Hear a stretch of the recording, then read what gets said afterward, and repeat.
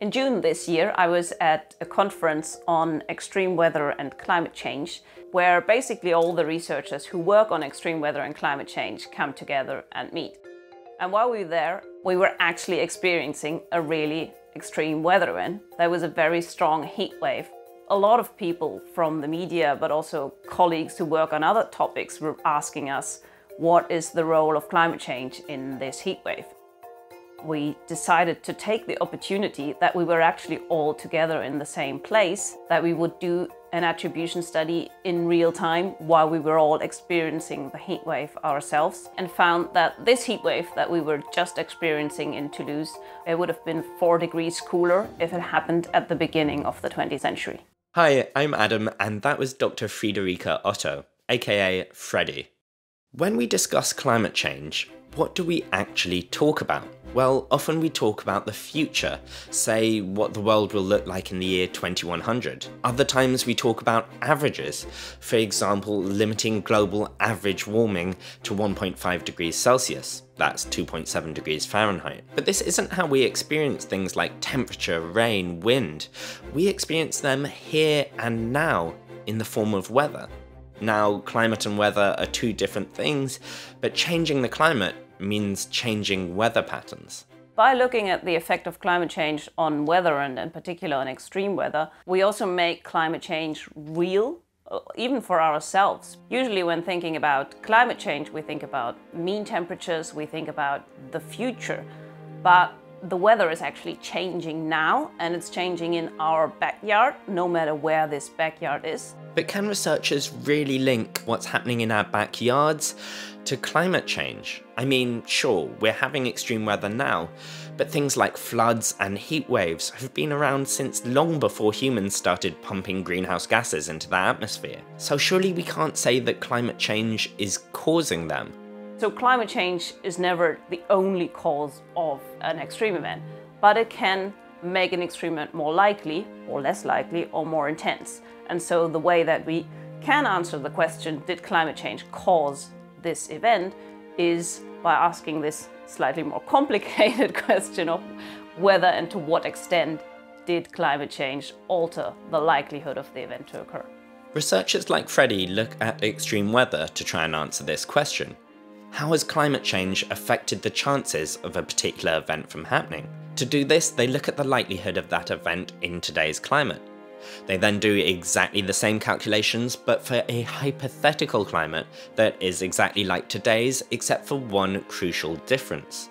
Its atmosphere is free from their emissions, from burning fossil fuels. Comparing these two worlds allows researchers to work out climate change's role in specific weather events, rather than just having to make general statements like, on average heatwaves are getting more common. Research like this can reveal, for example, that Tropical Storm Imelda, which brought torrential rain to Texas in September, was made twice as likely by climate change. But there's a challenge with this kind of work. Usually when we do a scientific study, it takes about a year from finishing the study until it actually is published and people can read about it. But when an extreme weather event happens, people usually immediately ask the question, is this climate change or not?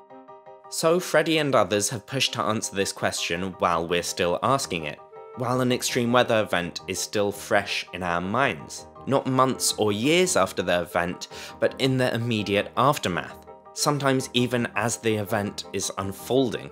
And this is a huge challenge. To look at something that plays out over years, decades, centuries, and try to answer questions about yesterday. It requires a research race against the clock.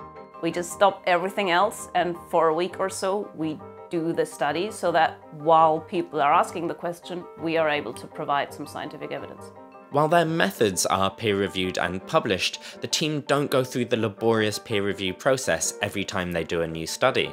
That means they can get the results out as quickly as possible, but it can mean presenting the results is pretty daunting. Every time we do a rapid attribution study and we go out to the press briefing the next day afterwards, I'm very, very tense and wait for some other scientists to have found a massive mistake, but thankfully that hasn't happened yet. So what are rapid attribution studies like these showing? Well, today human activities have already heated the planet by about 1 degree Celsius, that's 1.8 degrees Fahrenheit.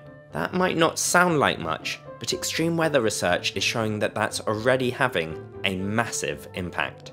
When we first did a study on a European heatwave and found that actually our best guess is that it's been made 100 times more likely, so that climate change is really a complete game changer, that, that was a surprise.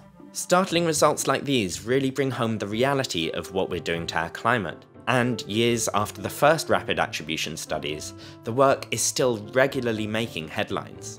People do care about these answers that we can provide, much more so than I actually expected. Even if there have been uh, 30 studies on, on heat, different heat waves that have been happening in different parts of Europe, and the numbers are not that different, people still really want to know what does climate change mean for this heat wave that I'm just feeling now in the city where I live.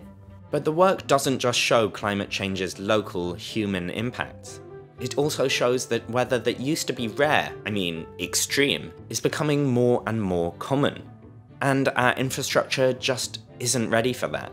We have to change how we deal with summer. So the houses um, we, we live in, they are not built for temperatures above 30 degrees. Even rich, educated Europeans who are really not the ones who suffer most the impacts from climate change. We really have to change our own behavior to adapt to climate change.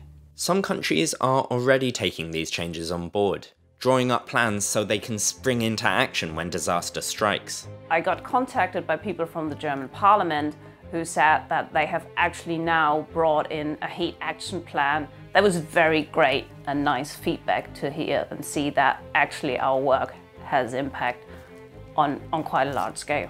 Fredi's hoping this work could have an even bigger impact by getting weather forecasters involved. By giving weather services the tools they need to do this work for themselves, you could look forward to climate change in your weather forecast pretty soon. What we are actually starting to work on now is um, not to do this kind of study or these kind of studies as part of a research project where everything very much depends on who has time to uh, drop everything and do an attribution study, but to work with national weather services and make this part of the net of the national weather forecast. What used to be really cutting edge five years ago is actually something that we will get every time when there is an extreme weather event with the weather forecast on the event as well, which I think is very exciting but also great because it gives then a lot more time for our scientists to work on, on the really cutting edge problems associated with this. And what kind of cutting edge problems are these? Well, perhaps the thorniest problems of all how we can take cutting edge research and turn it into action that can combat and adapt to climate change. We can do attribution studies. We can say what is the role of climate change in an individual event. So how can we use this science, or can we use this science, for example, in court? Is it something that, that lawyers can use to actually maybe help uh, the climate litigation cases that we are seeing a lot of at the moment? What is the impact um, of, of these kind of research on social movements that we see? Can this science be used maybe if we phrase it in a different way, if we ask this question in a different way, to help the most vulnerable groups who are affected by climate change. With these attribution studies, and especially when we do them quickly after the event has happened or while the event is happening, um, we remind everyone all the time that climate change is really happening here and now. And even if other big things happening on the political uh, scene, that people will not forget how important climate change is for their everyday life. And if we do not stop emitting greenhouse gases, it will just make everyday life worse. Ultimately, linking climate change to extreme weather is about linking our missions to our experiences. And maybe that will help us truly understand the consequences of our actions.